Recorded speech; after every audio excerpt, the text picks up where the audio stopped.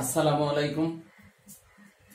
আজকে আমি কথা বলব আংশিক ভগ্নাংশ নিয়ে। যদিও আংশিক ভগ্নাংশের উপর আরেকটা ক্লাস আমি আগে করেছি। ওটা আপলোড দেওয়া হয়ে গেছে। বোর্ড কোশ্চেনের উপর ওইগুলো করেছিলাম। আর আজকে আমি খেয়াল করলাম যে বইয়ের প্রশ্নগুলো আগে দিই। বইয়ের প্রশ্ন যেগুলো আছে, অনুশীলনী দুই থেকে এগারো নম্বর অঙ্কে আছে হচ্ছে পাঁচটা অঙ্ক। এগারো নম্বরের সাব নাম্বার পাঁচটা।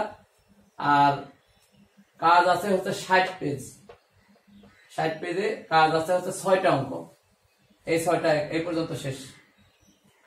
ক, খ, গ, ঘ, উম চ, এই ছয়টা হচ্ছে কাজের অঙ্ক। এরপরে উদাহরণ তেইশ, চব্বিশ, পঁচিশ, ছাব্বিশ, সাতাশ, আঠাশ, উনত্রিশ। এই পর্যন্ত হচ্ছে উদাহরণের অঙ্ক। তার মানে বইয়ে আছে মোট হচ্ছে আঠারোটা অঙ্ক। পাঁচটা, ছয়টা এগারোটা আর এটা আছে সাতটা, আঠারোটা। আর বোর্ড কোশ্চেন আমি দিছি। দুইটা বোর্ড কোশ্চেন এই বোর্ড কোশ্চেন হচ্ছে এই কোশ্চেনগুলো থেকে একটু আলাদা। কেমন? আসলে আংশিক ভগ্নাংশ হচ্ছে ভগ্নাংশ যেহেতু, তো ভগ্নাংশ মধ্যে প্রকৃত ভগ্নাংশ আছে, অপ্রকৃত ভগ্নাংশ আছে। অপ্রকৃত ভগ্নাংশের মধ্যে আবার দুই রকমের আছে। একটা আছে হচ্ছে যে উপরে এক্সের ঘাত আর নিচে এক্সের ঘাত সমান। আর একটা আছে, লবে এক্সের ঘাত বড়। তো লবে এক্সের ঘাত বড় যেগুলো, সেই অঙ্কটা এই যে। এটা হচ্ছে লবে এক্সের ঘাত বড়। এরকম অঙ্ক কিন্তু বইয়ে একটাও নাই। বইয়ের সব অঙ্কগুলোই আমি এখানে উঠাইছি। এই যে এখানে যদি এক্স আর এক্স গুণ করি এক্স স্কোয়ার আর উপরে আছে এক্স তো আসলে সর্বোচ্চ কোন রাশির সর্বোচ্চ ঘাতকে ওই রাশির ঘাত বলা হয়। তাহলে হরের ঘাত হচ্ছে টু এখানে আছে এক্স স্কোয়ার আর এখানে আছে টু এক্স তো এক্স স্কোয়ারের যে পাওয়ার টু ওই টু কেই আসলে বলা হবে হরের ঘাত। আর লবের ঘাত হচ্ছে ওয়ান তাহলে এটা হচ্ছে উপরে ছোট। উপরে ছোট হওয়ার কারণে এটা প্রকৃত ভগ্নাংশ। তারপরে এটা এই যে এক্সের পাওয়ার ওয়ান এক্সের পাওয়ার টু এখানে ওয়ান আছে, কিন্তু আমরা বড়টা ধরবো। নিয়ম হচ্ছে বড়টা ধরা। তাহলে এখানেও আহ, হরে বড় তার মানে এটা প্রকৃত ভগ্নাংশ। এখানে যদি আমরা এক্স এক্স গুণ করি এক্স স্কোয়ার এই এক্সের সাথে গুণ করলে এক্স কিউব তার মানে হরের ঘাত হচ্ছে থ্রি কিন্তু লবের ঘাত টু লবে ছোট হওয়ার কারণে এটা প্রকৃত ভগ্নাংশ। এখানে যদি গুণ করি এক্স আর এক্স স্কোয়ার গুণ করলে হচ্ছে এক্স কিউব তার মানে ঘাত হচ্ছে থ্রি আর উপরে এক্সের ঘাত হচ্ছে টু এটাও লবে ছোট এজন্য প্রকৃত ভগ্নাংশ। এখানে যদি গুণ করি এটা ভাঙলে আমরা এক্স স্কোয়ার পাবো আর এখানে এক্স গুণ করলে হচ্ছে এক্স কিউব তার মানে ঘাত হবে হচ্ছে থ্রি উপরের ঘাত টু তাহলে এটা হচ্ছে প্রকৃত ভগ্নাংশ। দেখো বইয়ে সবগুলোই প্রকৃত ভগ্নাংশ দিয়ে গেছে। আচ্ছা এখন কাজের অঙ্কগুলোতে যদি আসি, এখানে যে ঘাত হচ্ছে থ্রি আছে, আর এটাতে ঘাত হচ্ছে টু আছে। তো লবের ঘাত ছোট, প্রকৃত ভগ্নাংশ। তারপরে যদি এটাতে আসি, এই যে এখানে টু আছে, এখানে ফোর আছে। লবের ঘাত ছোট, এটা প্রকৃত ভগ্নাংশ। এখানে যদি আসি এই যে হরের ঘাত ফোর আবারও বলি যে আমরা কোন রাশির সর্বোচ্চ ঘাতকে ওই রাশির ঘাত বলব এবং বলা হয়। তাহলে এখানে হচ্ছে হরের ঘাত হচ্ছে ফোর হবে, আর লবের ঘাত হচ্ছে থ্রি এটা প্রকৃত ভগ্নাংশ। এখানে আমরা যদি এটাকে কিউবের সূত্র ভাঙি তাহলে এক্স কিউব পাবো। এটা দিয়ে এখানে গুণ করলে এক্স পাওয়ার ফোর পাবো। এক্স পাওয়ার ফোর হচ্ছে এক্স পাওয়ার ফোর এর হচ্ছে পাওয়ার ফোর তার মানে হরের ঘাত ফোর হরের ঘাত ফোর আর লবের ঘাত হচ্ছে টু তাহলে লবে হচ্ছে ছোট এই জন্য প্রকৃত ভগ্নাংশ। এখন পর্যন্ত কিন্তু আমরা অপ্রকৃতর দিকে আসি নাই আসি নাই না, পাই নাই। তারপরে এটাতে যদি আসি, দেখো এখানে শুধু উপরে, লবে তো ঘাত নাই, তার মানে অবশ্যই প্রকৃত। আর এখানেও যদি আমরা ভাঙি, দেখো এখানে নিচের ঘাত হচ্ছে ফাইভ হবে। এটাকে যদি হোল স্কোয়ারের সূত্রে আমরা ভেঙে দিই, তাহলে এক্সের পাওয়ার পাবো ফোর এখানে ওয়ান এক্স আর এক্স পাওয়ার ফোর গুণ করলে এক্স পাওয়ার ফাইভ তাহলে পাওয়ার পাবো ফাইভ অর্থাৎ হরের ঘাত হচ্ছে ফাইভ আর লবের ঘাত হচ্ছে ওয়ান তাহলে এখানেও আমরা লবের ছোট পাচ্ছি, এর জন্য প্রকৃত ভগ্নাংশ। এখানেও যদি করি, প্রকৃত, এদিকেও দেখো, প্রকৃত, সব প্রকৃত। এই যে এটা আসছে। এই এত সময় পরে এসে একটা পাইছি। অপ্রকৃত। এই ছাব্বিশ নাম্বার অপ্রকৃত হবে। কেন? দেখো, এখানে এক্সের ঘাত হচ্ছে থ্রি আর এখানে যদি এক্স এক্স গুণ করি এক্স স্কোয়ার তার সাথে এক্স গুণ করলে পারে এক্স কিউব তাহলে এখানে এসে আমরা, দেখো, হরে এক্সের ঘাত হচ্ছে থ্রি আবার লবেও এক্সের ঘাত থ্রি এই থ্রি থ্রি মিলে গেছে। লবের ঘাত আর হরের ঘাত যদি সমান হয়, তাহলে সেটা অপ্রকৃত ভগ্নাংশ। এই জন্য এটা অপ্রকৃত ভগ্নাংশ। এই প্রথম পালাম। আঠারো, উনিশ, বিশ, একুশ, বাইশ নাম্বারে এসে পাইছি। তারপরে আমরা যদি সরি এটা ভুল হলো ভুল হলো এগারো, বারো, তেরো, চোদ্দ, পনেরো নাম্বারে পাইছি। তারপরে এখানে আসি যদি, দেখো, উপরে এক্সের ঘাত ওয়ান আর নিচে হচ্ছে এক্সের ঘাত থ্রি হবে। তাহলে থ্রি কেন? এটা ভেঙে দিলে এক্স স্কোয়ার এক্স স্কোয়ার আর এক্স গুণ করলে এক্স কিউব তার মানে ঘাত থ্রি আর উপরে ওয়ান তাহলে এটা হলো প্রকৃত ভগ্নাংশ। এখানে যদি গুণ করি এক্স আর এক্স স্কোয়ার এক্স কিউব তাহলে হচ্ছে ঘাত হচ্ছে থ্রি উপরে ওয়ান প্রকৃত। এখানে যদি ভেঙে দিই ফাইভ পাবো আমরা। এটা ভাঙলে পারে আমরা পাচ্ছি হচ্ছে four a plus b whole স্কোয়ারের সূত্রে ভাঙলে ফোর আর ওয়ান গুণ করলে ফাইভ এক্সের ঘাত ফাইভ তো এই জন্য এটা আর লবে তো নাই, তাহলে অবশ্যই প্রকৃত। এইটাতে দেখো, আবার অপ্রকৃত। এটা কেমন অপ্রকৃত? দেখো, এখানে হচ্ছে যে, ও আচ্ছা আমি একবারে মান বসিয়ে দিছি। আসলে প্রশ্ন ছিল এমন।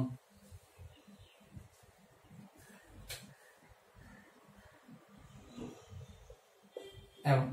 তো জিএক্স এর মান, এটা যদি বসানো হয় জিএক্স এর পরিবর্তে যদি এটা বসানো হয়, তাহলে ঘাত পাবো টু আর লবের ঘাত হচ্ছে কিউব তাহলে এই যে হরের ঘাত থেকে লবের ঘাত বড় হবে, অর্থাৎ এই মানটা যদি আমরা এখানে বসিয়ে দিই, তাহলে পাচ্ছি এত।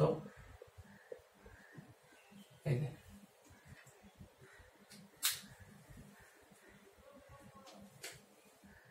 প্রশ্নে আছে তো জিএক্স জিএক্স এর পরিবর্তে এটা যখন বসাবো, তখন আমরা এটা কম্পেয়ার করলে বুঝতে পারতেছি যে লবের ঘাত বড়। তো লবের ঘাত বড় হওয়ার কারণে এটা অপ্রকৃত ভগ্নাংশ। আর এটাও আসলে অপ্রকৃতই হবে। এখানেও লব হরের সমান। এই যে এখানে গুণ করলে এক্স স্কোয়ার আর এখানে এক্স স্কোয়ার আছে, এটাও সমান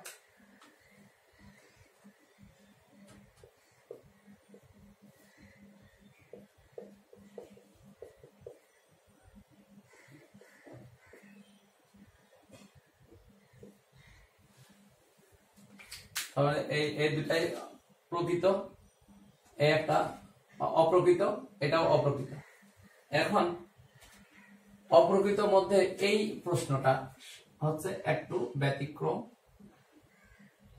একেবারে ব্যতিক্রম। যেখানে আমি মোট লিখছি বিশটা অঙ্ক, বিশটার মধ্যে একটা অঙ্কই ব্যতিক্রম। বোর্ডে, বোর্ড কোশ্চেনে আর দুই একটা প্রশ্ন এরকম থাকতে পারে। আর পরীক্ষায় দিচ্ছে ইতানি আসলে কিন্তু এক্সের ঘাত যে বড় সেই রকমের কোনো অঙ্ক এই বইয়ে নাই। তো বইয়ে যেহেতু নাই, তো টিচাররা ডিসকাস ওইভাবে করে না, বা কোন স্কুল করে, বেশিরভাগ স্কুল করার কথা না, যে বইয়ে আছে তাই করো। কিন্তু দেখো, বইয়ের প্রশ্ন ছাড়া এই প্রশ্নটা আসছে। অবশ্যই এই একটা আইটেমের কারণে এটা অসং অসং, সম্পূর্ণ থাকে আর কি, অসম্পূর্ণ থাকে। তো এই এই অঙ্কটা, এই রিলেটেড এই টাইপের অঙ্ক দেওয়ার কারণে এখন হচ্ছে পূর্ণাঙ্গ হয়ে গেল।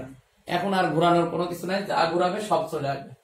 কারণ এই আংশিক ভগ্নাংশের মধ্যে একটা আইটেমই বাকি ছিল, সেটাও এখন বোর্ড কোশ্চেনে দিয়ে দিচ্ছে। যদিও মেন বইয়ে কিন্তু নাই বোর্ড বইয়ে নাই ওই প্রশ্নটা। না থাকার কারণেও দিয়ে দিচ্ছে।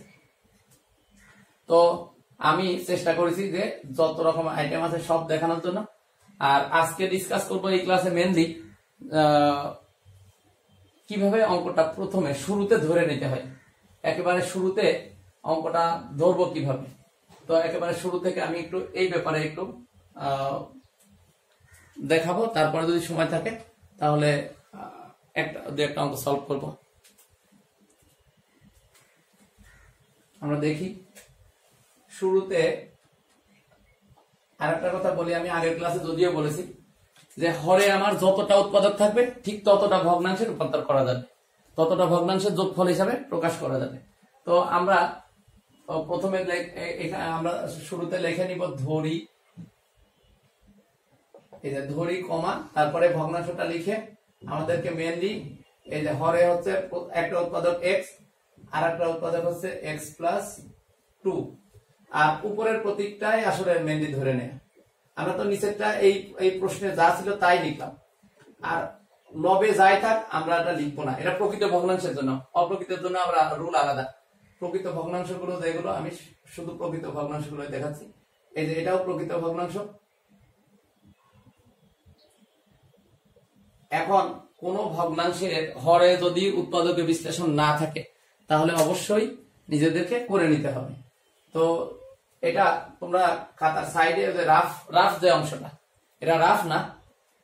ফিজিক্সের অঙ্ক করার সময় যেভাবে করে, এটা তো হয়তো হায়ার ম্যাথ অবশ্যই সায়েন্সের তো ফিজিক্সের অঙ্ক করার সময় আমরা পাশে যেভাবে দাগ দিয়ে করি, ওইভাবে তোমরা এই উৎপাদক বিশ্লেষণটা করে নিবা। নিলে দেখবা যে এখানে পাবা হচ্ছে এক্স মাইনাস থ্রি আর এক্স মাইনাস ফোর একবারে লিখে নিবা। আচ্ছা আমি এখানে একটু লেখা দিই।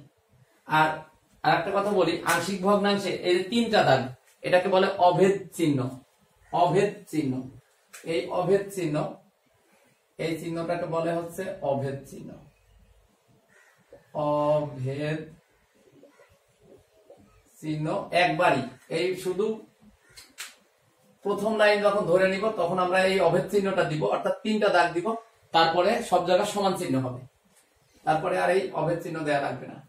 তো শুরুতে আমরা এটা কি করব? উৎপাদকে বিশ্লেষণ করে নিতে হবে।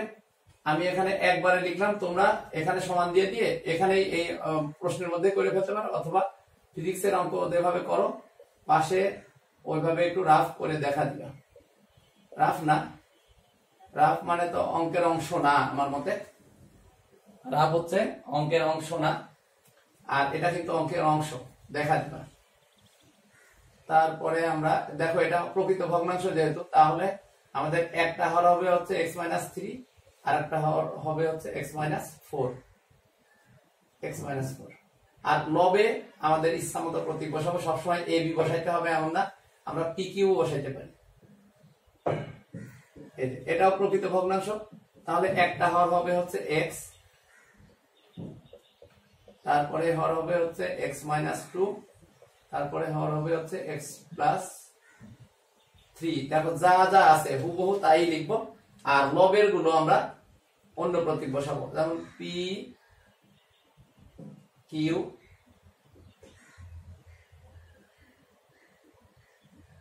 আর এভাবে করে আমরা ক্যাপিটালটা ধরবো আমরা। ক্যাপিটালটা ধরবো।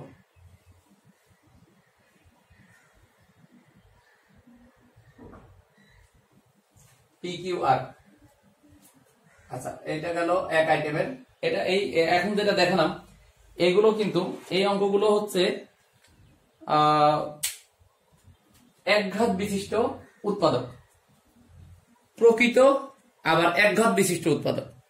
প্রকৃত ভগ্নাংশ এবং একঘাত বিশিষ্ট উৎপাদক যেগুলো, সেগুলো এভাবে ধরতে হবে। আর এগুলো কিন্তু দেখো দ্বিঘাত আছে।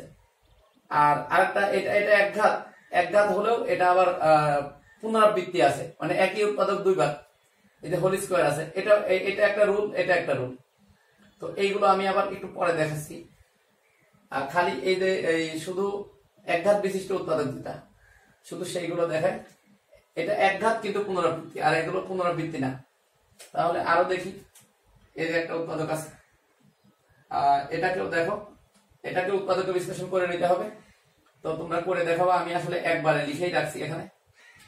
তাহলে এটা লিখে লেখার পরে উৎপাদকে বিশ্লেষণ করার পরে ধরতে হবে। তার মানে আমাদের এখান থেকে ধরতে হবে। এই লাইন থেকে ধরতে হবে। আমি দেখাবো ডিটেলস করব তখন দেখব আরও ক্লিয়ার হয়ে যাবে। আর একটা রুল দেখাবো যে কীভাবে অবজেক্টিভের জন্য অ্যান্সার করতে হয়, সেটাও দেখাবো। এখানে দেখো তিনটা উৎপাদক আছে, তাহলে আমাদের একটা হর হবে এক্স একটা হর হবে হচ্ছে এক্স প্লাস সিক্স আর হর হবে হচ্ছে এক্স মাইনাস এই যে, এটার, এই যে হরের বিশ্লেষণ করলে হবে। তাহলে উপরের কিন্তু আমাদের ইচ্ছা মতো আমরা বসাইতে পারি বসাইতে পারি বা অন্য কোনো প্রতীক বসালে কোনো সমস্যা নাই। এখানেও উৎপাদকের বিশ্লেষণ করা নাই। আমরা যদি উৎপাদকের বিশ্লেষণ করি, তাহলে রেজাল্ট পাবো হচ্ছে x square plus two x plus one x minus one আচ্ছা এটাতে দ্বিঘাত সমীকরণ, দ্বিঘাত উৎপাদক আছে। দ্বিঘাত উৎপাদকগুলো আমরা একটু পরে দেখাবো। দেখব। আমরা শুধু এক ঘাতেরগুলো দেখতেছি। এক ঘাত এবং পুনরাবৃত্তি না।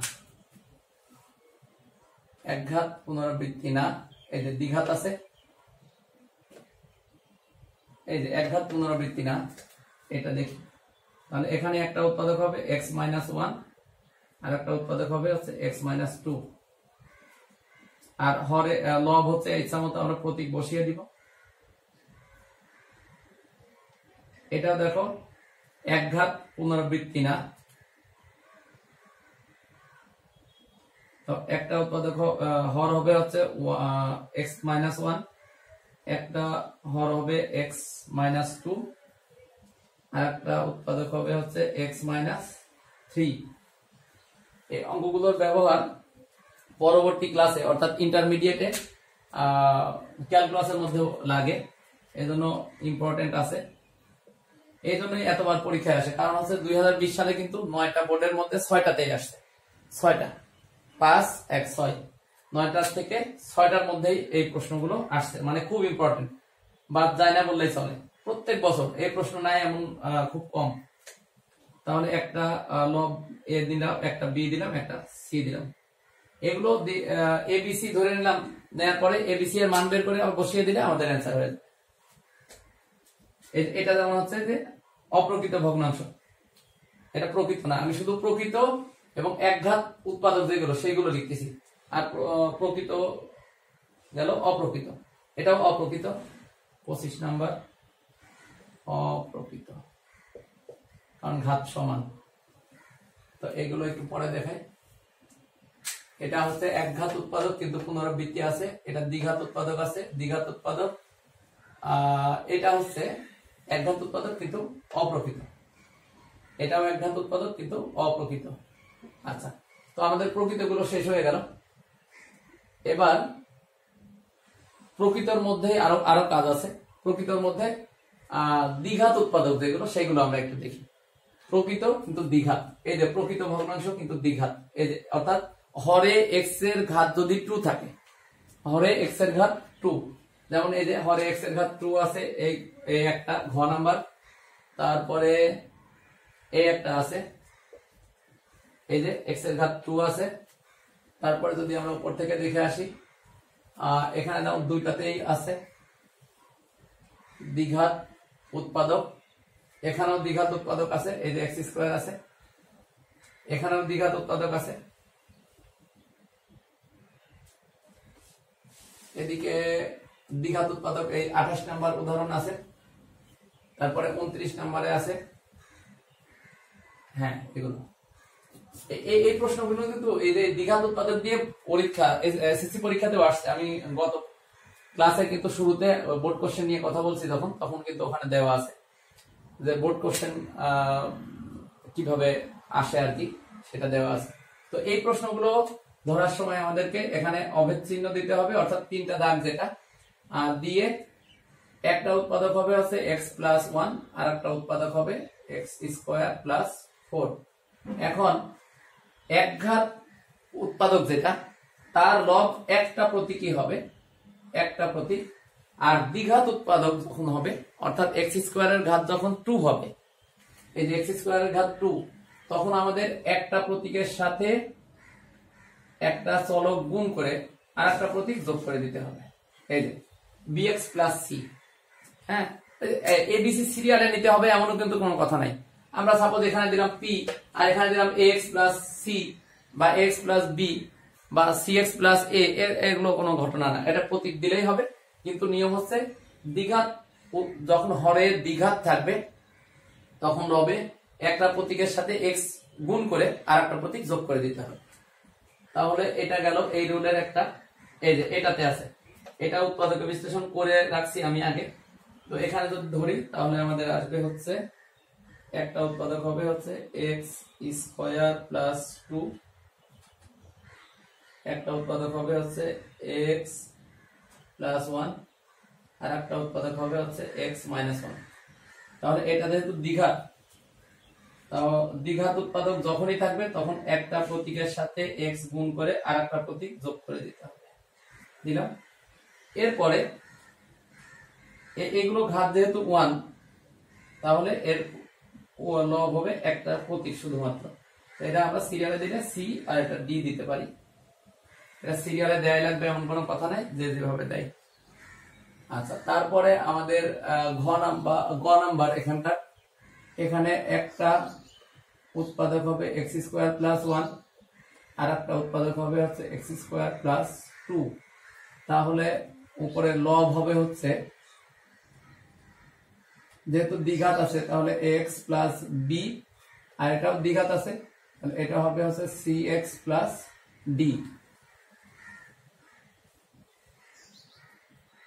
আচ্ছা। এরপরে আমরা এই উম্ম নাম্বারটা দেখি, এটাও কিন্তু দ্বিঘাত উৎপাদক আছে। সর্বোচ্চ ঘাতটা দেখতে হয়।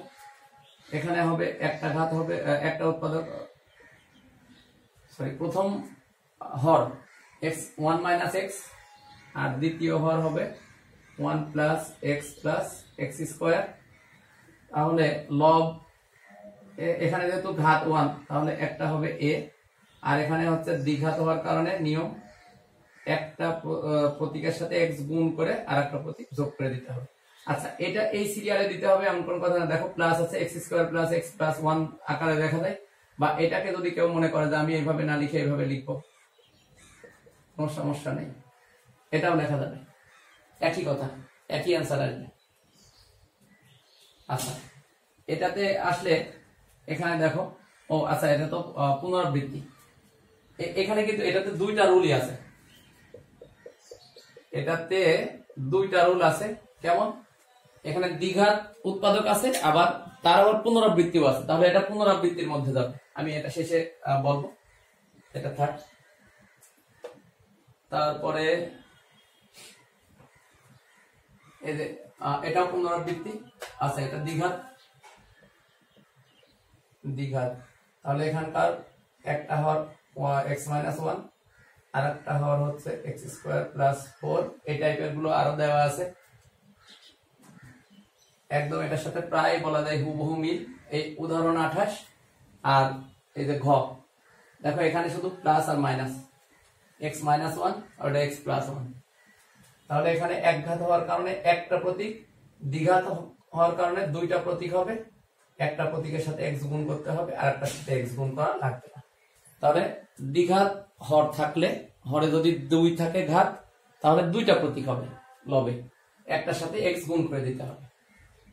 এটাও হচ্ছে কম্বিনেশন দ্বিঘাত আছে, পুনরাবৃত্তিও আছে। আচ্ছা এগুলো হচ্ছে অপ্রকৃত ভগ্নাংশ। আমরা অপ্রকৃত ভগ্নাংশ নিয়ে এখনও ডিসকাস করি নাই। তো এখন যেটা বাকি আছে, পুনরাবৃত্তি। দেখি কোথায় কোথায় পুনরাবৃত্তি আছে। এখানে যেমন চারটাই হয়ে গেছে, এটা পুনরাবৃত্তি আছে। হচ্ছে ঘাত যদি পুনরাবৃত্তি হয়, তাহলে কেমন হবে? একটা হর হবে হচ্ছে, দেখো টু এক্স প্লাস ওয়ান অর্থাৎ এটা ভিন্ন, ভিন্নই আছে। আর এটার ঘাত হচ্ছে এক্সের ঘাত ওয়ান বাট পুনরাবৃত্তি। তাহলে নিয়ম হচ্ছে, এই ঘাতটা x plus three whole square এর ঘাত হচ্ছে মানে টু আছে হোল স্কোয়ার আছে। এই জন্য নিয়ম হচ্ছে একটা উৎপাদকের x plus three whole square থাকার কারণে আমরা একটা হর নিব হচ্ছে এক্স প্লাস থ্রি আর একটা হর নিব x plus three whole square এইভাবে করে আমরা নিব। তাহলে x plus three whole square এই যে। একটা হর এটাই থাকবে আর একটা হর এই যে এই যে হোল স্কোয়ারের হরটা নিয়ম হচ্ছে একবার ঘাত ওয়ান নিয়ে আর একবার ঘাত হচ্ছে টু নিয়ে। এইভাবে। এই হোল স্কোয়ারের জন্য এই হলো rule whole square whole cube যাই থাক, যেটাতে পাওয়ার থাকবে, পুনরাবৃত্তি থাকবে, সেটার নিয়ম হচ্ছে ঘাত একবার ওয়ান নিয়ে নিব। একবার টু নিয়ে নিব, একবার থ্রি নিয়ে নিব, একবার ফোর নিয়ে নিব, এভাবে রিপিট হবে। ফোর কখনোই থাকবে না, এটা বেশি বড় হয়ে যায় অঙ্ক। ফোর থাকার কথা না থ্রি পর্যন্ত থাকতে পারে। বা ফোর থাকলেও কোনো সমস্যা নেই, একই নিয়ম। একবার ওয়ান একবার টু একবার থ্রি এইভাবে করে যত পর্যন্ত সর্বোচ্চ। টু আছে টুতে গিয়ে শেষ। থ্রি আছে থ্রিতে গিয়ে শেষ কিউবিক তাহলে তখন নিতাম, যদি এখানে থ্রি থাকতো, তাহলে আমরা নিতাম x plus three x plus three whole square x plus three whole cube এইভাবে তাহলে পুনরাবৃত্তির ওই রুলটা গেল। এখানে দুইটারই লেখা হয়ে গেছে। এখানে এটা গেল এটা বাকি আছে। তাহলে এখানে দেখো, এই যে হোল কিউব আছে।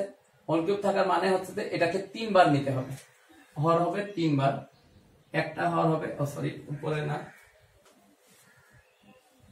একটা হর হবে হচ্ছে এক্স মাইনাস ওয়ান একটা হর হবে x minus one whole square একটা হর হবে x minus one whole cube দেখো, তিনবার।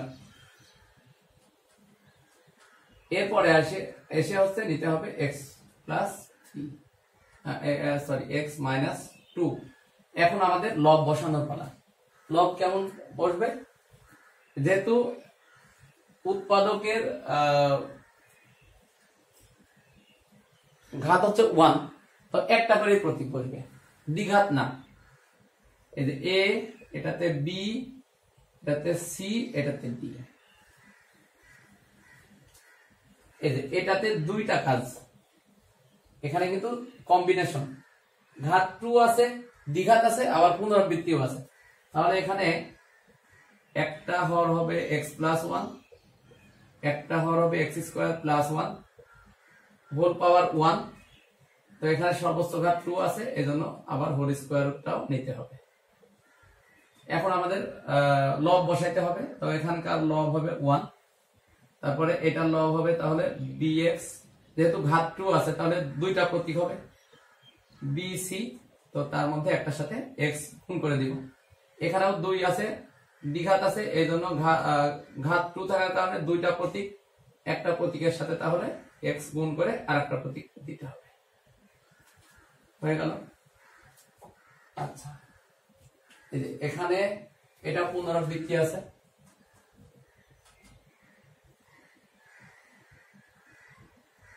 একটা হর হচ্ছে x minus one plus x minus one whole square plus x minus two তাহলে লব বসাইতে হবে এখন। লব একটাতে ওয়ান একটাতে লব হচ্ছে এ বি আর একটাতে সি হয়ে গেল। এখানে, এখানেও কম্বিনেশন এই অঙ্কটা। ঘাত হচ্ছে দ্বিঘাতও আছে, আবার পুনরাবৃত্তিও আছে। তাহলে এখানে একটা হর হবে এক্স একটা হর হবে এক্স স্কোয়ার প্লাস ওয়ান আর একটা হর হবে এক্স স্কোয়ার প্লাস ওয়ান আবার হোল স্কোয়ার রিপিট যেহেতু, তাহলে রিপিট করে দিতে হবে। লব হবে এ এটার লব হবে দুইটা বিএক্স প্লাস সি আবার এটার হর হবে হচ্ছে ডিএক্স প্লাস ই এটা গেল। এখন আর একটা কাজ বাকি আছে, সেটা হচ্ছে যে এত সময় যা দেখালাম সব কিন্তু প্রকৃত প্রকৃত ভগ্নাংশ। অপ্রকৃত ভগ্নাংশ মাত্র আমি এখানে চারটা অঙ্ক দিয়েছি। এই যে উদাহরণ পঁচিশ, ছাব্বিশ, উদাহরণ পঁচিশ, ছাব্বিশ, আর এই যে ঢাকা বোর্ডে এই প্রশ্নটা বইয়ের বাইরে থেকে দিছে। আর এই প্রশ্নটা অবশ্য এই প্রশ্ন, এই এইটা আবার হচ্ছে যে ঘাত, সেম, উপরে নিচে সেম, এদের সাথে মেলে। তো বলা যায় এই প্রশ্নটা ঠিক আছে। এই প্রশ্নটা বইয়ের সাথে মেলে, কিন্তু এটা একেবারে বাইরে একেবারে বাইরে থেকে, ঢাকা বোর্ড দুই হাজার বিশ। তো আচ্ছা এখন এইগুলোতে বইয়ে যে কাজ করছে, ঘাত যখন সমান, তখন তারা কি করছে? নিচের মুখ্য পদ দিয়ে উপরের মুখ্য পদকে ভাগ করে ভাগফলটা শুরুতে লিখছে তারপরে ওরা এই কাজ করছে, আমি দেখাচ্ছি। ওরা করছে, দেখো এক্স স্কোয়ার এক্স স্কোয়ার গুণ করলে সর্বোচ্চ ঘাত যেখানে, সর্বোচ্চ ঘাত যে পদে থাকে, সেই পদকে বলা হচ্ছে মুখ্য পদ এটা কিন্তু অধ্যায় দুই। এই দুই নিয়ে কথা বলতেছি দুই এর শুরুতে এটা বলা আছে। মুখ্য পদ কি, মুখ্য সহগ কি?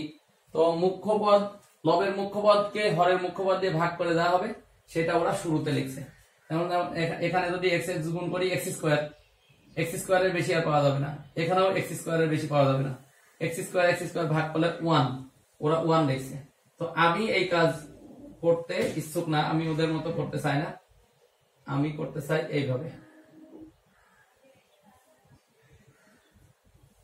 যখনই অপ্রকৃত ভগ্নাংশ হবে এবং ঘাত সমান হবে। অপ্রকৃত এবং ঘাত সমান। দুইটা রুল হবে। একটা অপ্রকৃত কিন্তু ঘাত সমান, আর একটা অপ্রকৃত কিন্তু ঘাত লবেরটা বড়। লবের ঘাত বড়, যেমন এটা। এটা আর এটার সাথে পার্থক্যটা কি দেখো? এখানে উৎপাদক বিশ্লেষণ করা নাই। আমরা একটু উৎপাদক বিশ্লেষণটা করে নিতে হবে। X cube plus two x plus one. আর এখানে রেজাল্ট আমি একবারে করে নিলাম, তোমরা একটু রাফ করে নিবা বা সমান দিয়ে দিয়ে এখানে করে নিতে পারো। এটা হবে এক্স প্লাস থ্রি, একটা আর একটা হবে এক্স মাইনাস ওয়ান। এই নিচের হর সহজ দেশে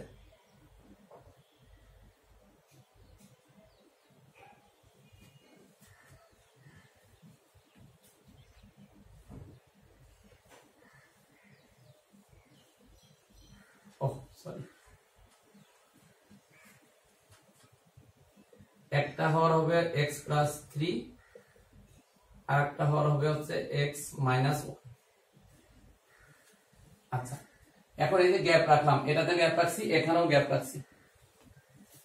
দেখি, তারপরে এটাতে কি লেখা যায়? এটাতেও আমরা গ্যাপ রাখব। তাহলে এখানে এই যে, কেন গ্যাপ রাখব? অপ্রকৃত। এই যে এক্স এক্স গুণ করে এক্স স্কোয়ার এক্স কিউব লবের ঘাতের সাথে হরের ঘাত যেহেতু সেম তাহলে অপ্রকৃত।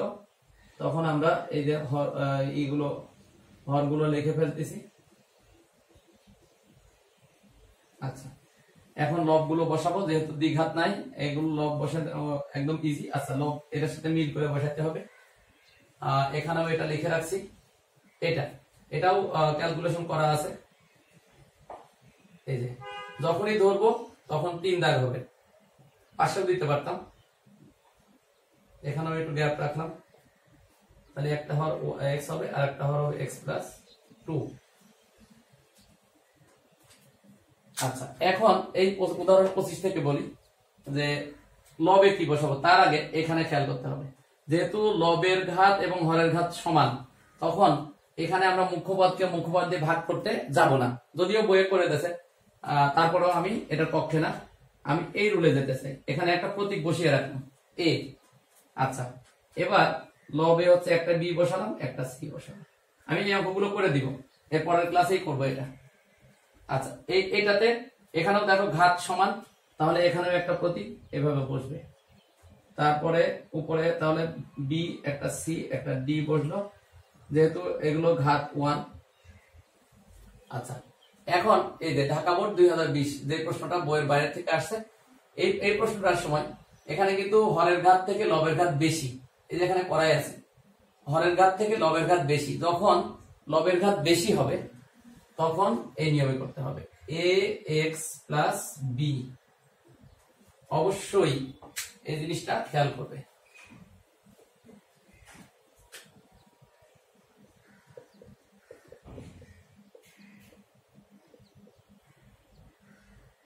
ধরে যখন দিব, প্রথম লাইনে আমাদেরকে এই এই চিহ্নটা দিতে হবে অভেদ চিহ্ন আগেও বলছি। তাহলে x plus b plus c plus d এই হলো আমাদের এই অঙ্কটা। এই- এইভাবে করে ধরতে হবে। তো এই অঙ্কটা কিন্তু ইন্টারনাল পরীক্ষাগুলোতেও দেওয়া হয় স্কুলগুলোতে, দেখছি। বোর্ড কোশ্চেনে কম আসে, তারপরও দুই হাজার বিশে কিন্তু অলরেডি চলে আসছে আচ্ছা তাহলে এখানে এটাতে ঘাত বড় হওয়ার কারণে এই রুল। আর ঘাত সমান হলে শুধুমাত্র আমরা শুরুতে একটা প্রতীক বসাবো। তখন আর এই যে এ এক্স প্লাস বি বা ওই আকারে যাবে না। তাহলে এখানে এ দিলাম, এটাতে বি এটাতে সি এই হলো অঙ্কগুলো সম্পর্কে মানে ধারণা যে কীভাবে আসলে অঙ্কগুলো আমরা ধরে নিব। শুরুতে যদি ধরতে না পারে কোনো স্টুডেন্ট তাহলে সে মিলাইতে পারবে না এই অঙ্ক। আর মিলাইতে কি? কোনো জীবনও হবে না। তো শুরুতে কীভাবে ধরবা সেটা দেখালাম। এখন অবজেক্টিভের জন্য কীভাবে সহজে সলভ করা যায় সেটাও দেখাবো। তো এই ক্লাসটা যদিও একটু বড় হয়ে গেল, এটা আজকে তাহলে এই পর্যন্ত।